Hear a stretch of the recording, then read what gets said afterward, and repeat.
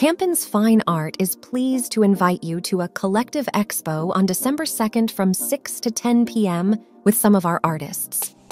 The event offers a variety of works from Omar Corrales, William Chaves, Abel Quintero, and Daibi Canovas. Each of them presents a vision of their inner world with visually impressive works.